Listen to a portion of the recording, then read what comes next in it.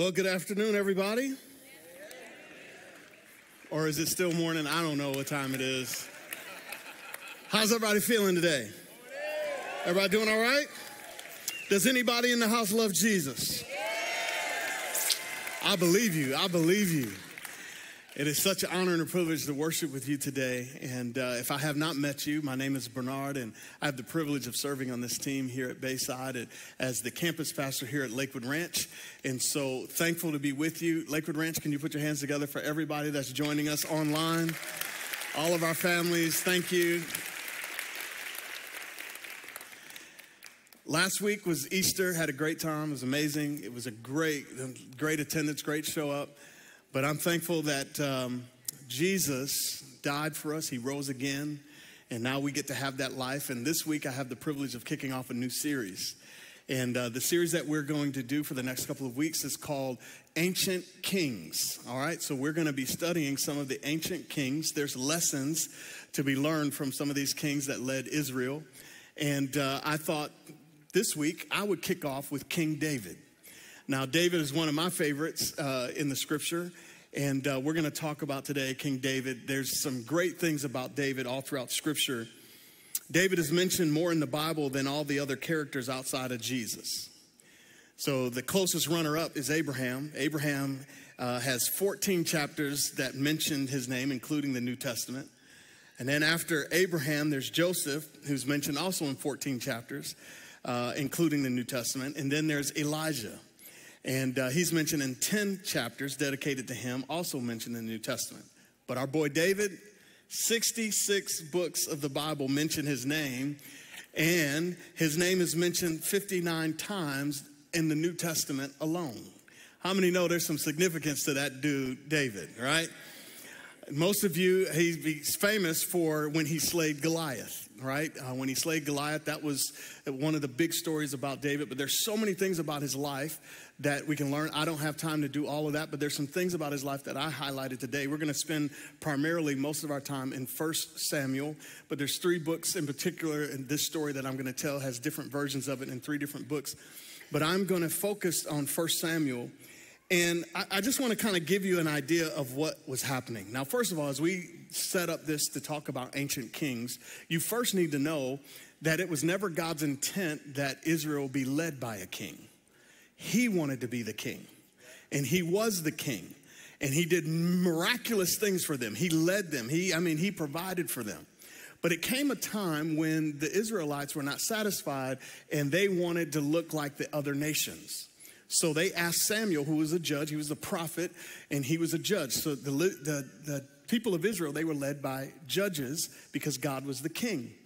And so they went to Samuel, who was a judge, but he was a prophet, and they said, Hey, we want God to give us a king like all the other nations. Can you ask him to give us a king? And so Samuel couldn't believe what they were asking, and so he goes before the Lord, and the Lord tells him, You know what? They're rejecting me. Give them what they want. Go ahead, to, give, give them a king. Now, it's a scary thing when you get what you want from God when he's like, go ahead, just give them what they want. But when he said, give them what they want, he says, but warn them with the choice that they're getting, that they're making right now, this is what's going to happen when they are led by kings. And he goes on to describe all of the, the, the struggle that they were going to have being led by kings. And if you read the, the Bible and you read the, the, the, Old Testament, you begin to see how every king that led them had some issues. And they started to have some trouble after trouble after trouble. As they did whatever God said, that's what happened. And so that's because they chose, instead of, they had the real king, but instead of being satisfied with the real king, they chose to go with a fake one. Now, what's interesting is you go from having God as your king, perfect, to now asking to be like everybody else. All the other nations got a king. We want a king. How many know humans are imperfect? When you, when you put humans in the mix, it's gonna get messy. And that's exactly what happened. It got messy. Now, there was a king before David. The first king of Israel was named Saul. Now, Saul was something else, and he was tough. He was a tough one. And he was, before uh, David came on the scene, Saul was, was a king for like 25 years. And David comes on the scene, but how he comes on the scene is very interesting because while Saul was reigning, what ended up happening is Saul began to displease God. And so God said, Man, this joker, let me tell you, we got, we got to put somebody else in charge. So he tells Samuel, I want you to go find another king. And so Samuel goes and he comes to this family, he comes to Jesse. Now, Jesse is David's father. David has seven other brothers, so he's one of eight. David was a shepherd, we know that. Uh, David is um, known for writing uh, several of the books in the book of Psalms. In fact, out of the 150 uh, chapters in Psalms, these books, David is credited with writing 73 of them. A lot of them he wrote, they were songs that he wrote while he was in distress running from the dude, the king that was trying to kill him. Uh, it's very interesting. There's lots of praise in songs, but there's also lots of heartbreak where, where he's, you know, he's writing. Now, David was, I mean, he was a musician, all kinds of things. And, and so, of course, being a shepherd, he learned how to protect the sheep. He was doing all this um, faithful in all of those things. But while he's out there one day, Samuel, now looking for a, a king, he comes to Jesse and he says, Do you have sons? He says, Yes. He calls his sons except for David. So seven sons come and they walk before Samuel. And Samuel looks and he's like, Surely that's the one. And none of them were the one that God chose. So Samuel asks Jesse, he says, Now, is this all the sons you have? And Jesse's like, Well, there's one more. He's out in the field watching sheep. He's like, Well, go get him. We won't eat until he comes. So they go get David. David comes, Samuel looks, and immediately there's a confirmation. That's the one. God's that's the one that God chose to be the next king of Israel. So Samuel anoints him with, with oil. Some scholars say that he whispered at that time in, in David's ear that he would be the next king of Israel. And so, of course, there was a process because after that anointing, David goes back into the field and begins to be a shepherd, continue to be a shepherd, being faithful doing that. But he just was anointed to be king of Israel, but somebody else was sitting in that seat. So then uh, Saul, Saul is, um, he's making some bad decisions, some bad choices. And so now he's being tormented. He's all depressed. He's got a funky spirit. He got an attitude. He, I mean, he tripping. And so he's like, oh man, they, are trying to get his soul at rest. So they, they ask um, his servant to find somebody that can just bring some, some peace to his mind. So his servant says, Oh, well, Jesse has this one son, and he's an incredible harpist, and he's good looking, and he makes good judgment. He's a warrior, all this. And so they say, Oh, go get him. And so David comes and he begins to play the harp to kind of soothe Dave, uh, Saul when Saul got crazy. But then Saul gets all jealous and upset with David, and he throws a spear at him. He's trying to kill him. Now, this is the king trying to kill the future king, but he doesn't know it's the future king because when David got anointed, uh, the Spirit of God, the word says the Spirit of God left Saul and came upon David because God made a decision. If you don't do it God's way, you better be careful. Can I just say that again? If you don't do it God's way, you got to be careful. All right?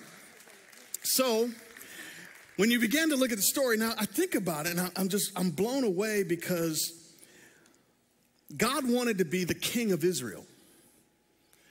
But the children of Israel didn't want him to be king anymore, even though, now just think about this. Every, all of the deliver, just coming out of Egypt and parting the Red Sea and, and providing food for them, all of that, and they still said, God's not enough, not good enough for us. You know why? They decided to look at everybody else and said, I want to be like everybody else. It reminds me of what's happening in our world today through social media and all these other things, people look at people's lives and go, I want that, I want that. And you forget all the blessings that you have in your own life. And you think that if I can have that, then I'll be something. And if I can have that, I can be something. No, you just be content with where you at because you're blessed. So we going through this, we want a fake king. We don't want the real one. We, we want the fake. It reminds me of a show that I, I like on uh, TV. It's, it's, it's called Cake or Fake. Anybody ever seen that? Uh huh. Cake or fake. My God. So, I'm going to ask you a question. Now, everybody in here and that's watching online as well, I'm going to ask you to participate. All right? I'm going to ask you a question. I just want you to lift your hand.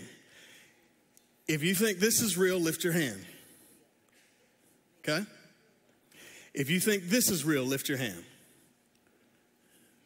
Okay. All right, one more time. Real? All right, real.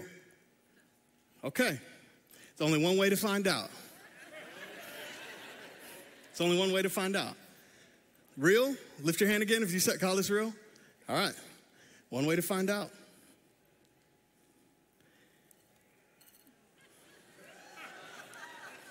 Real?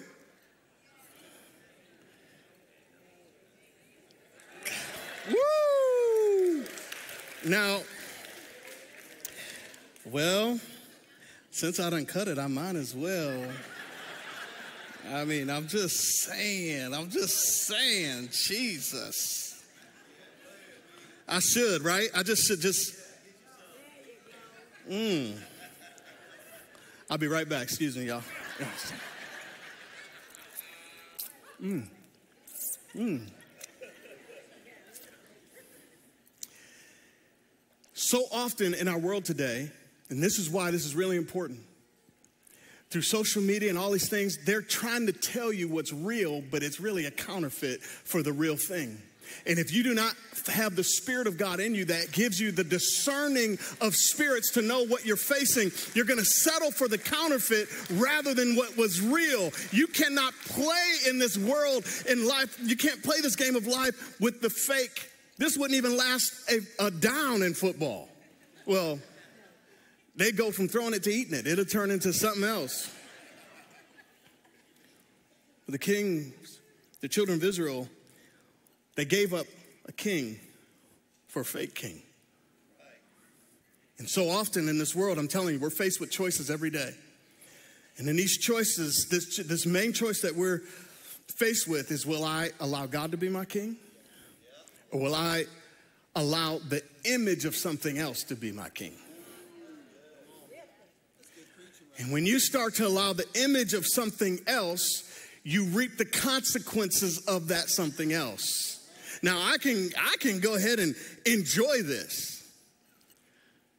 But I can only enjoy it for a moment because there's consequences. If I sat here and ate all this, it'd be like, I mean, there's gonna be a consequence. you know what I'm saying? Some people are like, what did he just do? Well, for those young people that don't know, Fat Albert back in the day, you know what I'm saying? right, right. There's a consequence for choosing what's fake. Somebody's like, oh, I used to love that cartoon Saturday morning, baby. But in 1 Samuel 8, this is what they did. They were like, no, we want a king. We, we want a king. And this was so scary because God says this in 1 Samuel 8, verse 7. He says, Do everything they say to you, the Lord replied. He's speaking to Samuel. He says, For they are rejecting me, not you. And he says, They don't want me to be their king any longer. Ever since I brought them from Egypt, they have continually abandoned me and, and, followed other gods, and now they are giving you the same treatment. Do as they ask and solemnly warn them about the way a king will reign over them. Israel forgotten all the miraculous ways that God had delivered them and fought for them. God had intentionally set them apart, but they wanted to be like everybody else. God gave them the worst judgment that they could have gotten by giving them what they wanted. Now, here's what's interesting. Samuel's is he was torn about this, and the, these elders of Israel, they're still like, man, we, we just want a king. We really want to be like everybody else. Now, eventually the process happens, and David does become king. But in the process of becoming king, once he did become king, there was several accomplishments as a king that he had. I mean, he did some great uh, uh things as a king. We know one, he, he, he beat Goliath, that was uh, a Philistine, the Philistine giant. We know that he conquered him. We know that uh, as a chosen leader, he also was established Jerusalem as the capital. Um, and then he brought the ark back uh, to Jerusalem because the ark of God had been taken. And then he also established a unified kingdom. I mean, it's like, man, he the, Israel had been separated, the north and south, and, and David came and he was able to bring unity to, so it was one nation again. And of course, uh, this, the book of Psalms, he's credited, I told you earlier, he's, he, he's credited for writing 73 out of the 150 uh, books in the book of Psalms. But here's one that's really important. Because of David's heart, the Bible describes him as being a man after God's own heart. Because of that, God promised that the throne of David would last forever, it would be a dynasty. And I don't know if you know this, but David was born in Bethlehem. Who else was born in Bethlehem? Jesus. Do you know that Jesus came out of the lineage of David? So you fast forward from David's time all the way to Jesus' time, his promise came true because one day we ain't gonna have a president no more. We're gonna be led by the King of all kings and the Lord of all lords. His name is Jesus, right?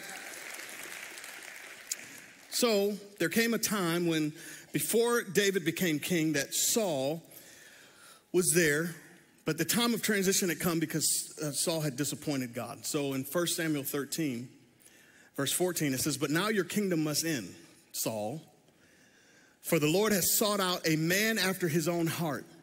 The Lord has already appointed him to be the leader of his people because you have not kept the Lord's command. So we see this transition is about to happen. Israel was looking for a king, but God was looking for a heart. David was the only one given this name, a man after God's own heart. The only person in all the Bible was given this, man after God's own heart. And Saul has already been leading for about 25 years, and uh, by the time David even comes into the picture, but it's all about the heart. Everybody say the heart. So here's the question What is God's measuring stick for leadership? The reason why I ask that is every single person here in this room and watching online Every single person here, you are considered a leader. And let me tell you why. God, Jesus taught us to pray, Our Father which art in heaven, hallowed be thy name, thy kingdom what? Come, thy will be done. Where? On as it is. How is it going to be done? Through you and I.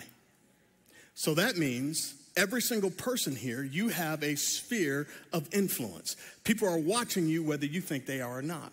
So you have the ability to lead, whether you're young or whether you're old. Sometimes the younger got to lead the older. But in the kingdom of God, you need to accept your responsibility for being a leader because the heart is what God is looking for. So, this is what we know God's measuring stick for leadership is the heart. God's measuring stick for leadership is the heart. Proverbs 4:23 is so your heart is so important. It says, above all else, guard your heart, for everything you do flows from it. And then in Matthew 5 8, it says, Blessed are the pure in heart, they will see God. Now, this is a really important thing because if you don't have a healthy heart, remember, everything flows from it. So if you don't have a healthy heart, guess what? You're gonna have unhealthy consequences. You're gonna make unhealthy choices. You're gonna make unhealthy decisions. Because out of that bankrupt heart of yours, if you are trying to function, think about it this way confrontation is not a bad thing unless you have an unhealthy heart. If you are in a confrontation and you got to have the last word, unhealthy heart. If you are in a conversation and you have to prove your point and you have to win and you have to this, you, unhealthy heart. And therefore, what begins to happen is out of the unhealthiness of your heart, you begin to react and respond, and you're not acting out of who you were made to be, but you're acting out of the pain that's in your heart. And so you say, How do I deal with my heart? Well, first thing you could do is we've laid it out here at Bayside Community Church, man. Go through the growth track, go through freedom where we can deal with the heart blockages because there's some things that get in our heart that cloud our purpose. It prevents us from becoming all that God wants us to be. And so, next thing you know, we don't even know. Our heart is so just crammed with stuff. And Jesus wants to come in and clean out your heart so that you can be free to be who He's made you to be. But with a heart that's unhealthy, man, life gets difficult. All the drama and craziness that we see, you know why it is? Because people got unhealthy hearts. At some point, In life, you know, they, they tell you when you get a certain age or whatever, you should go get your physical heart checked. And you always go and they check your blood pressure and they check y'all, your heart beating. You know, when you go to the doctor, they check all of that. Well, how often do we do that with our own heart spiritually? Do we have a checkup to make sure that we can be like David, a man after God's own heart, a woman after God's own heart? When you look at King Saul and you look at King David, you begin to see this comparison between their hearts. Saul's heart, he had a fear of man. David's heart, he had a fear of God. Saul's heart, he was a worrier. David's heart, he was a worshiper. Saul's heart, he was thirsty for man's applause, and David's heart, he was thirsty for God's presence. Saul's heart, he was paranoid, but David's heart, he was peaceful. Saul's heart, he was raging with jealousy, but David's heart, he was full of love. Saul's heart was all about self preserving, but David's heart was about servant leadership. Check your heart. All of us have motives. And the more unhealthy our heart is, the unhealthy we find that our motives come from that place. If God is saying, guard your heart, for out of it flows the issues of life, how many issues are you walking in are only because your heart? So, when we begin to look at this story in 1 Samuel chapter 16, it's very interesting. I love this part because now Saul has been, you know, he's been checked. God's like, I'm done with you. So in verse 1 of chapter 16, it says, Now the Lord said to Samuel, You have, you have mourned enough for Saul. I've rejected him as king of Israel, so fill your flask with oil and go to Bethlehem. Find a man named Jesse who lives there, for I have selected one of his sons to be my king. But Samuel asked, How can I do that? If Saul hears about me, he will kill me. Take a heifer with you, the Lord replied, and say, uh, that you have come to make a sacrifice to the Lord. Invite Jesse to the sacrifice, and I will show you which of his sons to anoint for me. So Samuel did as the Lord instructed, and when he arrived at Bethlehem, the elders of the town came trembling to meet him. What's wrong? They asked. Do you come in peace? Yes, Samuel replied, I've come to sacrifice to the Lord. Purify yourselves and come with me to the sacrifice. Then Samuel performed the purification rite for Jesse and his sons and invited them to the sacrifice too. When they arrived, Samuel took one, of, uh, one look at Eliab and thought, Surely this is the Lord's anointed. But the Lord said to Samuel, Don't judge by his appearance or height, for I have rejected him. The Lord doesn't see things the way you see them. People judge by the outward appearance, but the Lord looks at the heart. The Lord looks at the heart. So, can you see how society is getting us to look at the outward? we look at the outward and we go, that's the real thing. That's the real thing. That's the real thing. And we get caught up in thinking that's the wrong, the, the real thing, but it's really the wrong thing. It's pleasurable for a moment. Trust me, this cake gonna be good in a minute.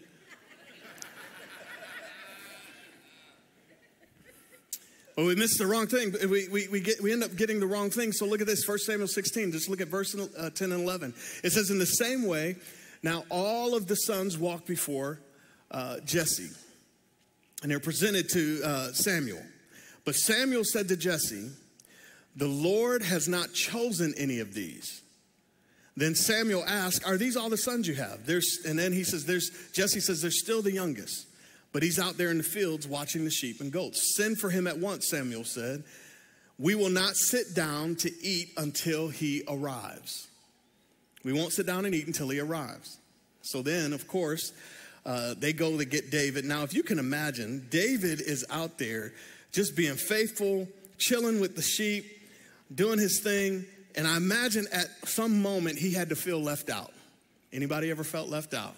He's sitting there like, everybody over there meeting the prophet, and I'm out here with the sheep. See, you know, I'm just doing what somebody working, at least somebody working, right? He's just doing his thing. But I imagine he probably felt left out. But, anyways, they go and get him. Can you imagine what the excitement David must have had? as They say, hey, the prophet wants to see you.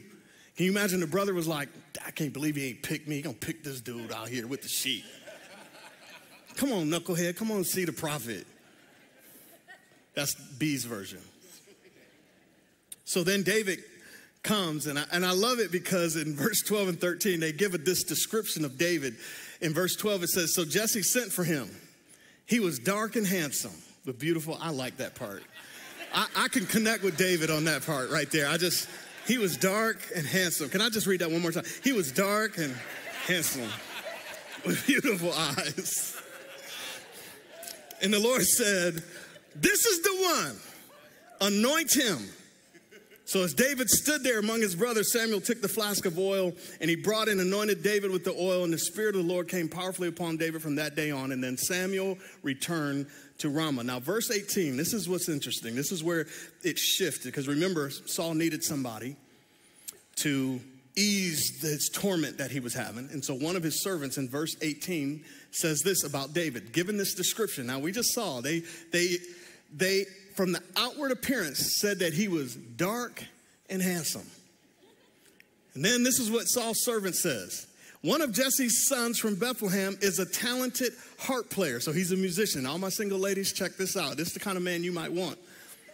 Not only that, he's a brave warrior, a man of war, and has good judgment. He is also a fine looking young man, and the Lord is with him.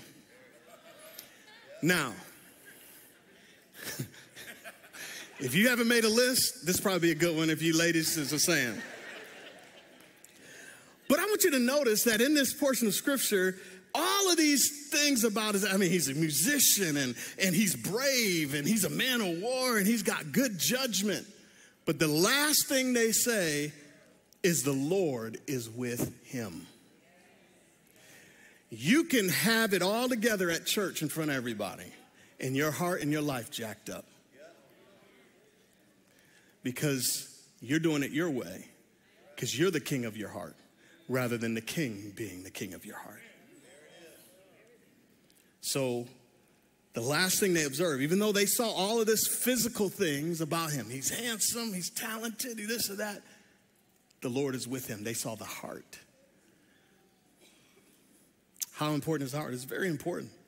So, as we go through this, and I, uh, I just I want to give you a couple of things because David, as he's sitting out there, as I begin to wrap this up, that's my first closing. I got four more. I'm about to turn it loose. You 11 for we, we ain't got none but time. Come on, somebody. Anyway, just kidding. David is sitting out there. His brothers are sitting before the prophet. They finally come to get him. But do you realize that David must have felt like he did when he was out there writing some of those Psalms all alone. The king is trying to kill him. He's sitting out there feeling unseen, not valued.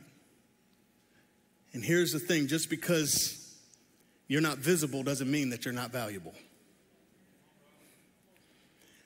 Just because you're not visible, it doesn't mean that you're not valuable. Just because you're not visible to others doesn't mean that you're not visible to God. God sees you.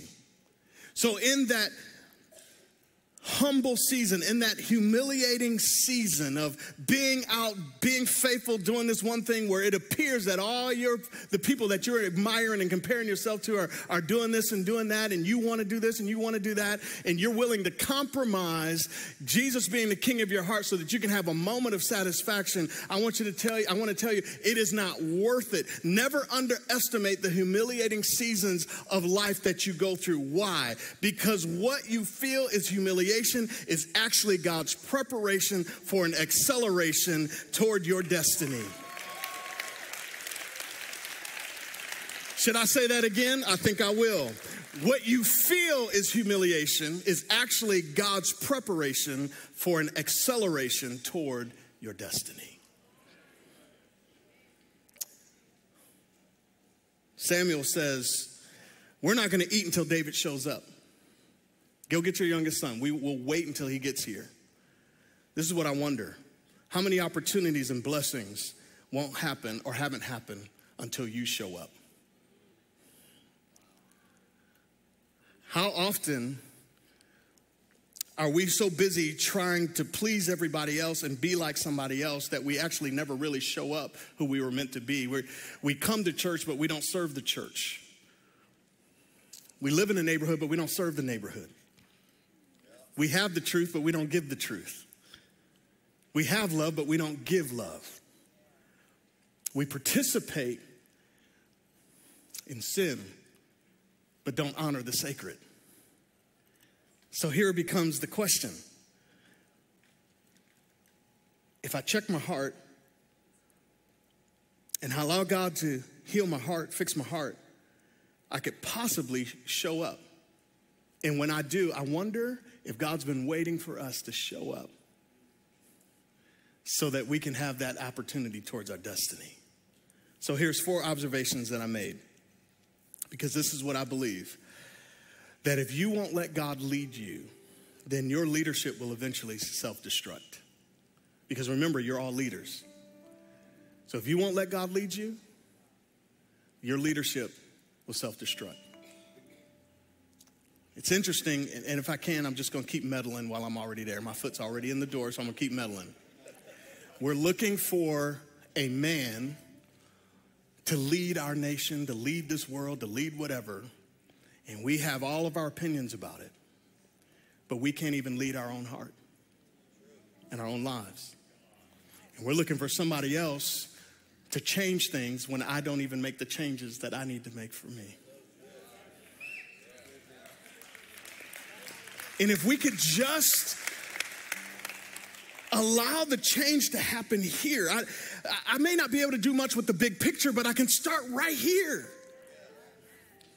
I can just start right here being faithful in this sphere of influence that God has given me, being faithful to the skills, the talents, the gifting, the truth, the revelation that He's given me. Be faithful and to steward what God has given me in this season with the few people around me or the many people around me. If I'm faithful there, that will make a difference in just one life at a time. And I promise you, we will get to partner with God, and earth will look a whole lot better if we all just participate with God. Boy, get me started. Four things and I close. Second closing, told you. All right. Four observations. One, David was faithful in the field. He was faithful in the field. He was doing what he was assigned to do. Now, he didn't have social media or any of that, but I guarantee he knew that his brothers were going to see the prophet, but he remained faithful doing what he was called to do. He wasn't looking, trying to, oh, well, I, wonder what is happening. I, I want to go over there. I, I, let me, the sheep will be okay. Let me just, no, he didn't do that. He remained faithful in the field. Then the second thing is he was faithful in the familiar. Faithful in the familiar. I, I remember, and when I say that, meaning sometimes we get so frustrated because we're doing the same thing over and over and over. You, you, know, whatever job you have, and you're wanting something else, you're kind of getting bored. And people, when they get bored like that, they stop being faithful in what they were called to because they're trying to get to the next, and then they start slacking on the things that got them to where they were. And when you start to get slack, in the things that got you to where you are, you're actually allowing that thing that you're supposed to be catching up to to get further away from you. So you got to remain faithful with the familiar. I remember um, before anybody knew who Burnard Scott was, before I got to stand on this incredible platform that Pastor Randy entrusted uh, to me, uh, I, I remember I was working on the facilities team at a church. I was vacuuming floors, mopping floors. Back then, it was all brass everywhere, like gaudy gold brass everywhere. And I had to polish it, get all the fingerprints off of it. And then the toilets in there just cleaning the toilets. Oh, this is so nasty. God, man, is so nasty. That's what I'd be like. I mean, Lord, protect me in Jesus' name. Protect me. I had plastic everywhere. Just. I was doing that. Nobody saw me. Nobody praised me. But people appreciated sitting on clean toilets. People appreciate having toilet paper in there. In fact, let's give it up for all of our facilities team at all of our locations that serve us so well, man. They keep our buildings looking fantastic. But I was faithful in the field. I was faithful with the familiar. I didn't know what was next. I, I didn't know what my next season was going to be, but this was an opportunity that I had was to take care of the house of God. And I did it faithfully in there, vacuuming and mopping and cleaning toilets and polishing brass. And I did it faithfully on and on without complaining, without murmuring. I did it being faithful with the familiar because I knew what I could do, but I was faithful there. And then here's a, a third thing David was faithful when forgotten. When they didn't call him the first time, he remained faithful. When you feel forsaken, don't be mistaken. God has not forgot about you. He'll never leave you, he'll never forsake you. He hasn't forgot about you. And here's the last thing he was faithful in the future. Now, when I say he was faithful in the future, now remember, David, faithful in the field, faithful in the familiar, faithful with the forgotten, he was faithful in the future. Samuel anoints him with oil and some scholars say that they believe during that ceremony, they know exactly what that is. And David knew at that moment that he was being anointed as king. Some believe that Samuel whispered, You will be the future king of Israel. After that happens, can you imagine if God told you what was next in your life? Some of us would be like, Okay, I got this, God. Thank you for letting me know. And you start going after it without waiting for the process and the preparation to get you ready for that next season of your life. But David went from that anointing with oil to going right back out to the sheep.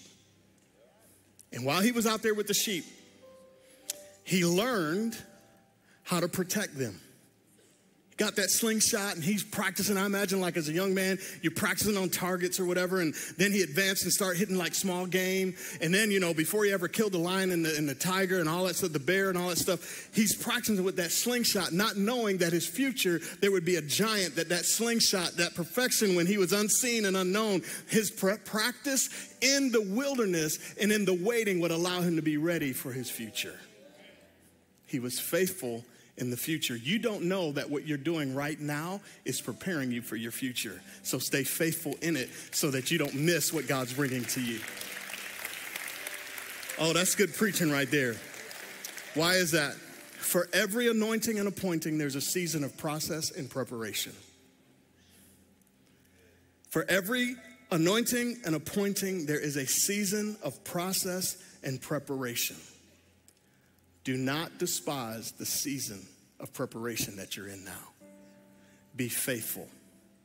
Be a faithful mom, dad, brother, sibling, manager, employee. Be faithful. Be faithful. You say it's hard. You don't understand how hard it is. Allow God to turn it around for your good, but you have to remain faithful so that you can learn from the season that you're in. And if you do, this is what I want you to, I'm gonna give you all homework. I know you didn't want homework this week, but you all go on and get homework. So take notes. All right, you ready? Take notes. Here's your homework. I want you to ask yourself these questions. Am I being faithful in my season of life? You can take pictures of it, they're gonna come on the screen. Am I being faithful in my season of life? Here's the second question Am I depending on people's perception of my outward success, or am I concerned about a healthy heart?